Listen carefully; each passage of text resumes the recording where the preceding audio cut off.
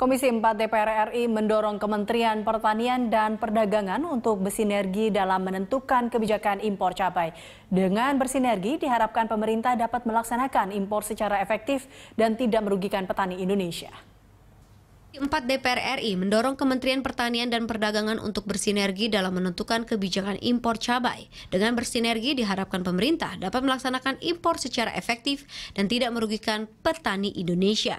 Menanggapi masuknya cabai dari India dan Cina ke Indonesia, anggota Komisi 4 DPR RI Ibnu Multazam menyesalkan langkah yang diambil pemerintah itu dalam memenuhi permintaan cabai dalam negeri. Menurutnya, cabai hasil produksi petani Indonesia jauh lebih baik dari cabai impor dari Cina dan India. Kendati cabai impor tersebut belum banyak peminatnya, namun Ibnu menilai kedatangannya dapat berpotensi mengancam cabai yang ditanam petani Indonesia karena harga yang ditawarkan jauh lebih rendah dari harga cabai petani lokal. Produk cabai akhir-akhir ini kan karena cuaca itu kan agak menurun.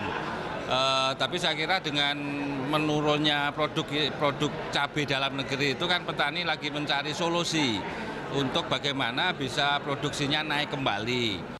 Ditemui pada kesempatan yang sama, anggota Komisi 4 DPR RI, Darori meminta Kementerian Pertanian dan Perdagangan untuk bersinergi untuk menentukan waktu yang tepat untuk mengimpor cabai. Hal tersebut untuk mencegah terjadinya impor cabai di saat musim panen yang menyebabkan jatuhnya harga cabai dari petani lokal. Darori juga menginginkan adanya karantina terhadap barang impor seperti cabai. Hal tersebut untuk memastikan cabai tersebut bebas dari bakteri penyakit yang dapat mengancam kesehatan konsumen. Mestinya pertanian dengan pedagang itu ada sinergi sinergi memberitahu kapan memang e, cabai itu kurang, kapan memang itu cabai dibutuhkan. Sehingga tidak jangan sampai terjadi pada musim-musim panen cabai uh, terjadi import. Helmi Darmawan dan Rizky TVR Parlemen melaporkan.